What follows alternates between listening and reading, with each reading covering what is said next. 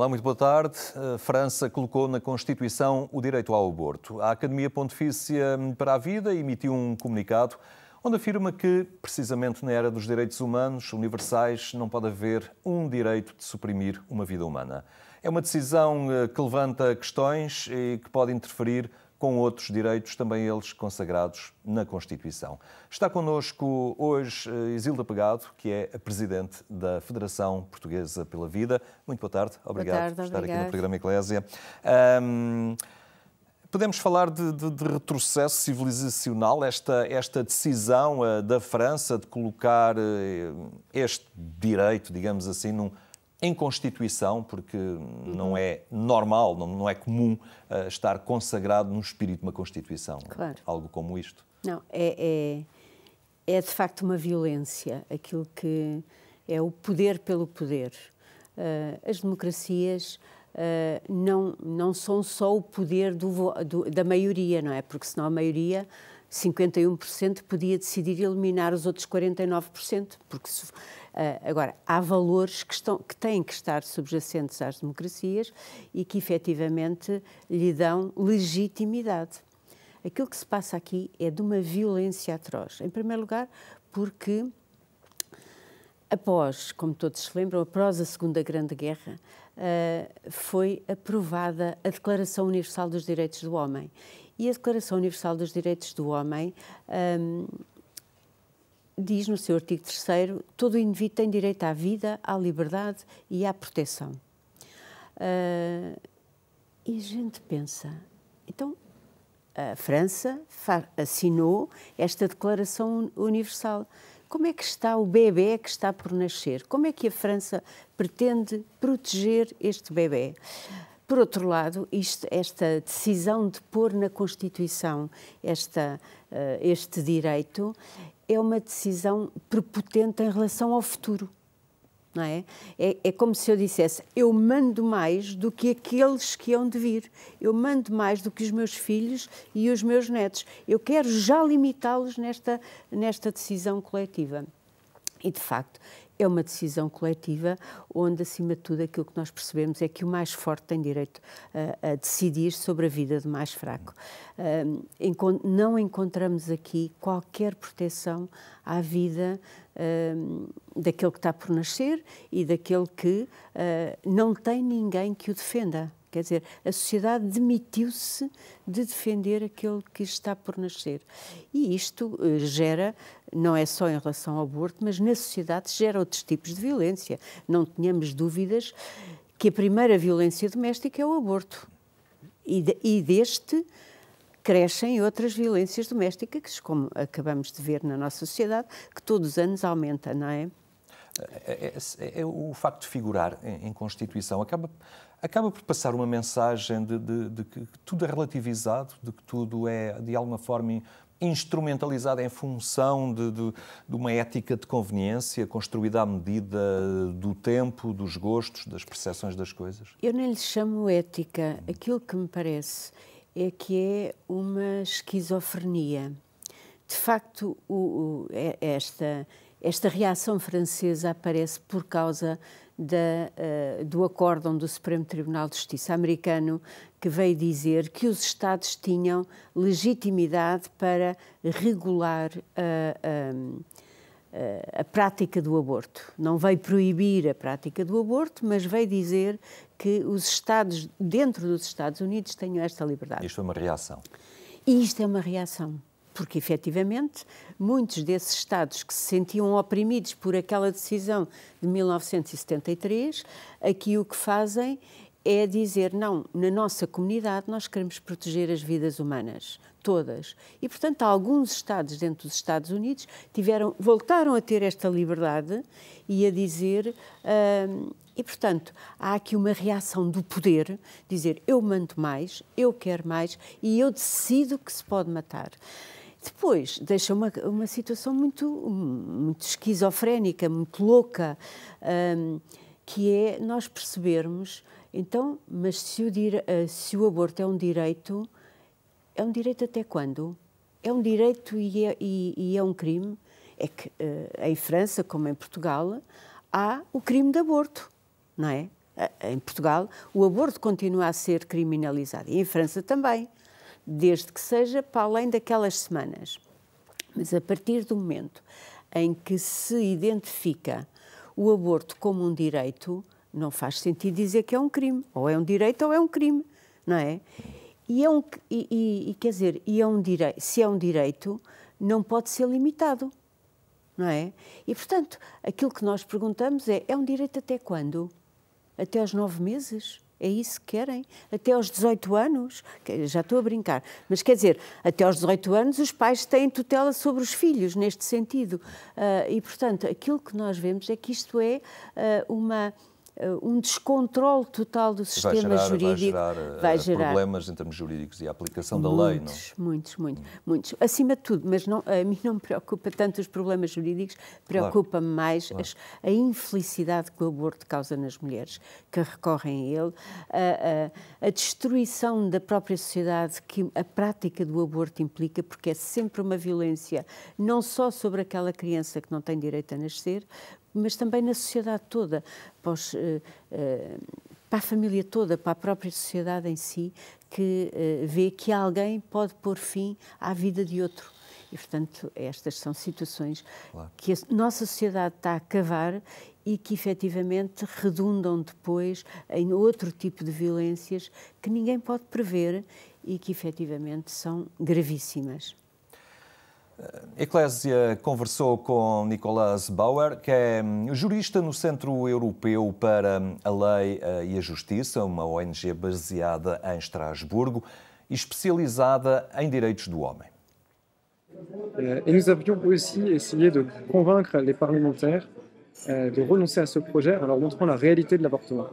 Euh, la semaine dernière, j'étais avec 12 femmes 12 femmes qui ont avorté une ou plusieurs fois, qui ont témoigné de la réalité de l'avortement devant des députés et des sénateurs euh, qui ont euh, accepté des rendez-vous avec elles. Nous avons eu des rendez-vous sur une semaine et sur le groupe des 12 femmes qui sont très représentatives des, très nombreux témoignages que nous recevons. Euh, certaines disent avoir avorté sous la pression, sous la pression de leurs compagnons notamment, et disent ne pas avoir été consentantes à cet avortement. Donc voilà, pour elle, la liberté d'avorter n'existait pas en fait. Euh, elle n'était pas libre. Euh, et donc cette liberté, cet avortement commis comme une liberté est en total décalage avec cette réalité. D'autres de ces femmes ont avorté en se sentant très libres, mais ont réalisé après ce qu'était l'avortement. Euh, elles, elles en ont eu des conséquences psychologiques, parfois physiques, graves, qui les poursuivent toujours aujourd'hui.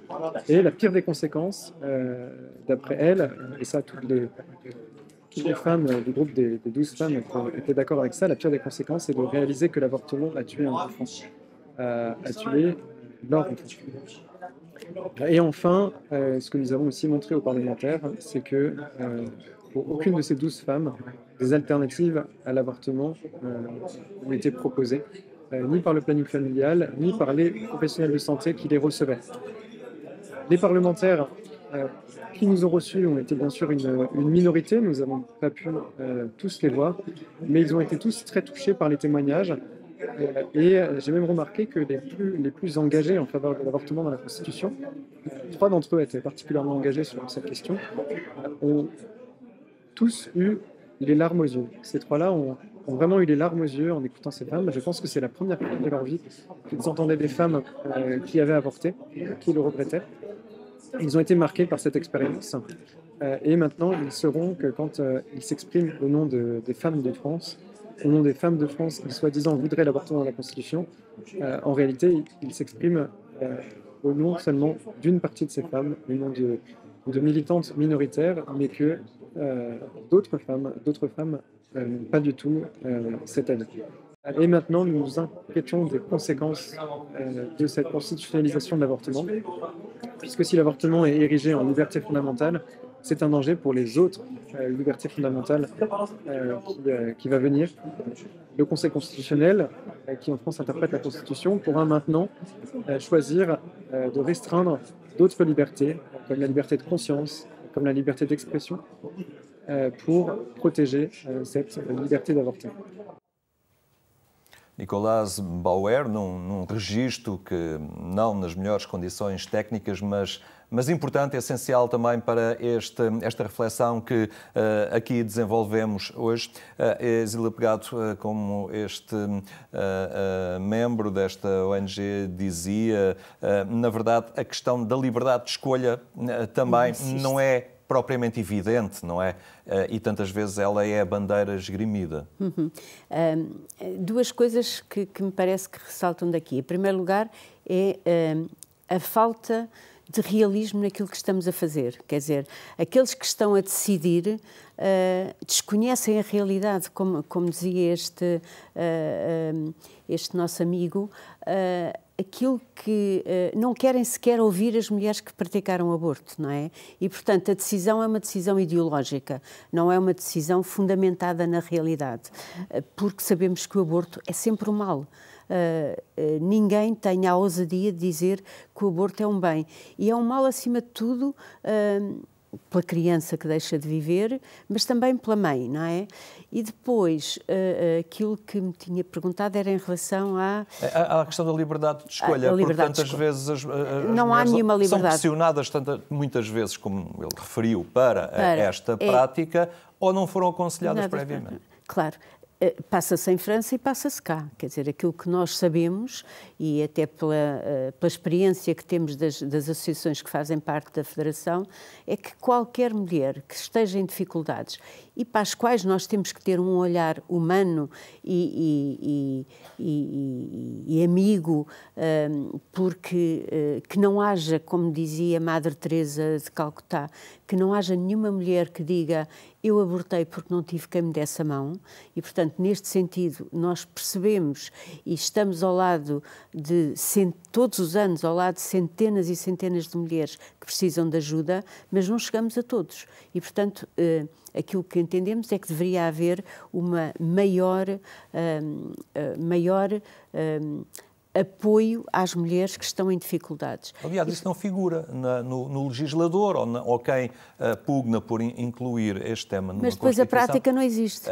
Pois, mas nem, não, não foi referido, referido sistemas de apoio a, a, quem quer ter o seu filho e que tem dificuldade para o ter. Claro, até porque aquilo que, isto é de tal forma ideológico. Ideológico quer dizer que é, uma, é quase uma obstinação de, um, de uma determinada política um, que uh, não permite que haja essas, sequer essas referências a, a, aos apoios que, em concreto, como eu disse, olhando a realidade, deveriam ter, uh, estar previstos na lei e uh, estar, digamos, efetivamente implantados no, no, no, terreno, lá como cá. Como cá, quer dizer, em Portugal, aquilo que nós percebemos é que o aborto é o remédio para a pobreza.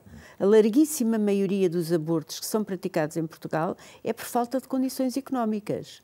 E, portanto, e ninguém se preocupa com isto. Temos falta de crianças, temos uma natalidade a decrescer e, e continuamos a, a, a, propor às mulheres que têm dificuldades muitas vezes em, em, ter uma casa melhor, muitas vezes em ter uma lei, eh, uma lei laboral que as proteja uh, das, das pressões feitas na empresa. Uh, e a, a, solução que tem é: tens aqui à tua disposição o aborto. Isto não é liberdade.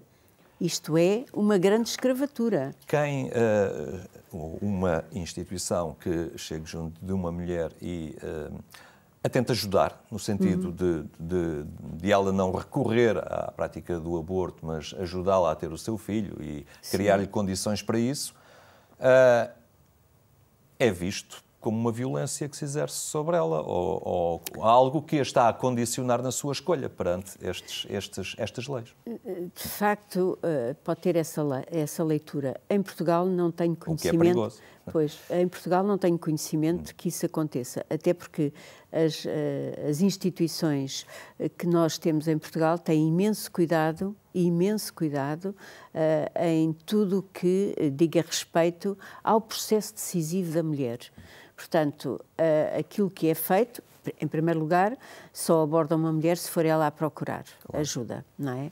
Pode ser através de um terceiro que diga, olha, mas quer dizer, ninguém é obrigado a sentar-se numa mesa e conversar sobre as suas dificuldades e a expor uh, os motivos que a fazem estar em mas dúvida. Mas como este elemento referia, este, uh, uh, o Nicolas Bauer, isto não está, esta, esta opção não está presente no, no, na, nas consultas de planeamento familiar ou, na, na, no, sim, ou sim. Nos, nos, profissionais de saúde? Não, é? não, não existe. Neste momento, não existe, quer em França, quer cá.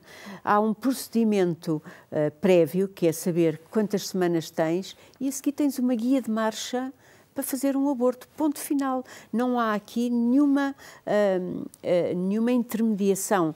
A única vez que, efetivamente, a lei, uh, porque mesmo na, na, formulação que agora foi posta na Constituição, é possível que isso apareça na lei. Mas o que é facto é que se acenam estas bandeiras, mas depois, na realidade, não se faz aquilo que era possível fazer, porque também diz que o aborto será praticado nos termos que a lei vier a definir, não é? Portanto, deixa-se aqui uma amplitude e, evidentemente, que aqueles que veem o mundo cor-de-rosa dizem não, nós depois vamos fazer uma lei muito bonita com estas condições todas, o que é uma mentira o que é uma mentira, porque de facto uh, uh, o aborto, uh, França foi dos primeiros países a ter o aborto legalizado. Um, foi primeiro na Europa e, e até agora isto nunca apareceu, quer dizer, estamos em 2000 e, e tem 50 anos de, de, aborto legalizado e até agora uh, não há essa prática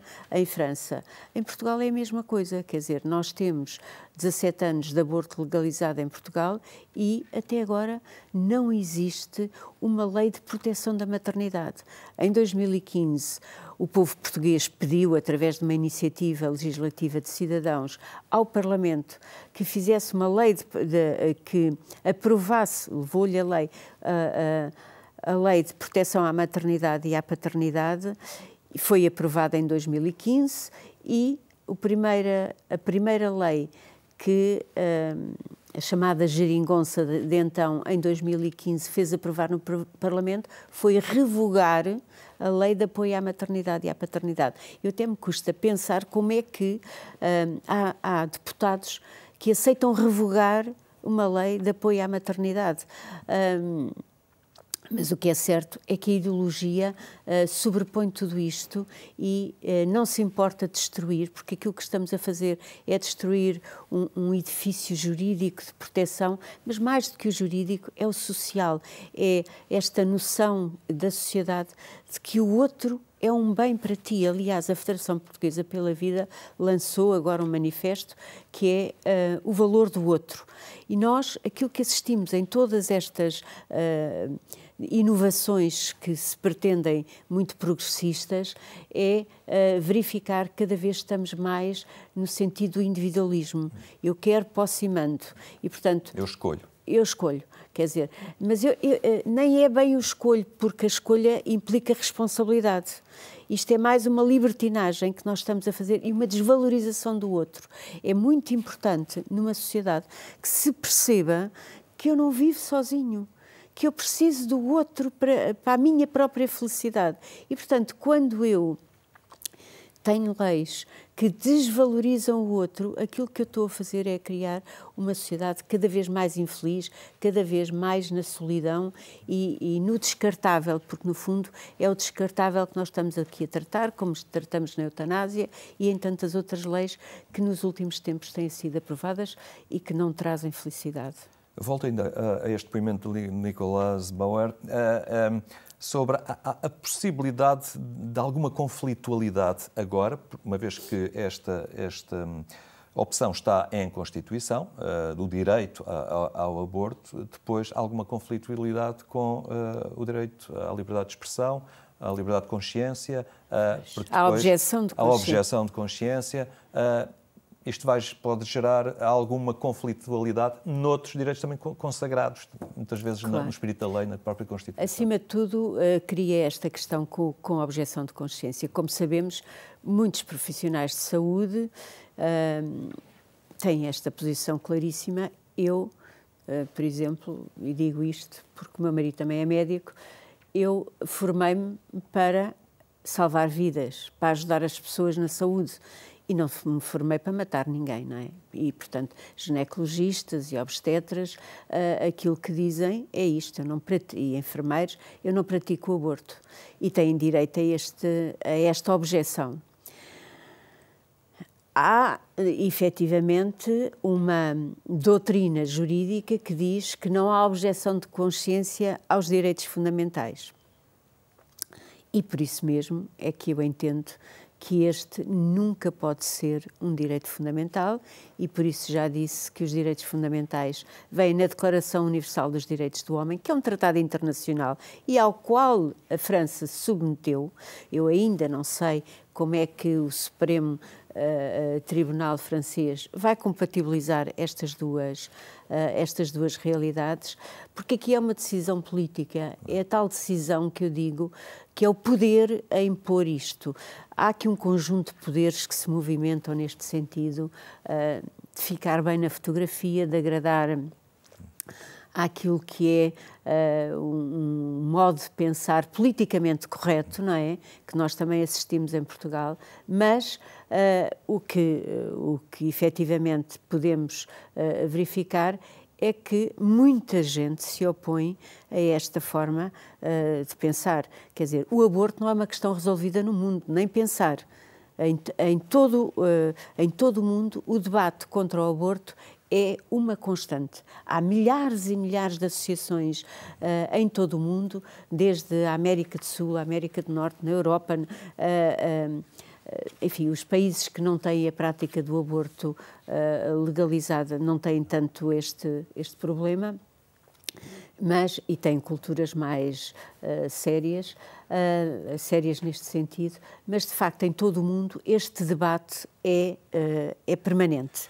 E, portanto, a objeção de consciência é um direito universal que não pode ser sequer limitado por esta circunstância pontual da França se ter encontrado agora uma maioria que se julga dona uh, da vida de outros, porque efetivamente quem aprovou esta lei é de facto uh, conivente e autor da própria destruição de vidas humanas. É um problema de consciência grande também para os políticos que a aprovaram.